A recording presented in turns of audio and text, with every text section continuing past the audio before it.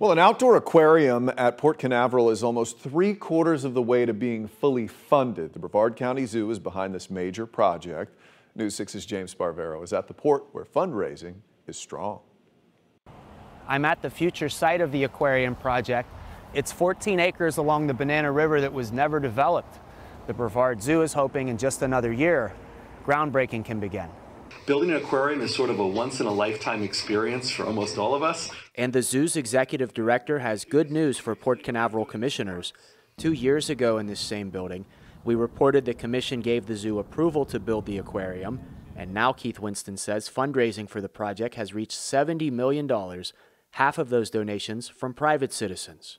We're so pleased with how many people in the community have participated to date. After telling commissioners the zoo is still seeking $30 million to fully fund the aquarium, I asked Winslow at the zoo about donations that are still needed.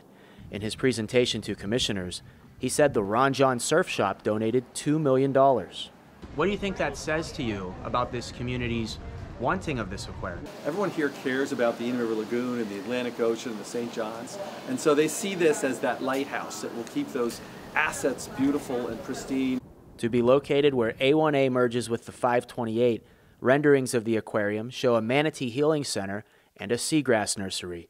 Winslow says a dollar from every ticket will go towards improving the water quality of the lagoon.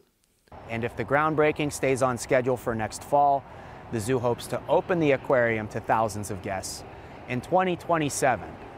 At Port Canaveral, Brevard County, I'm James Sparvero, Getting Results News 6.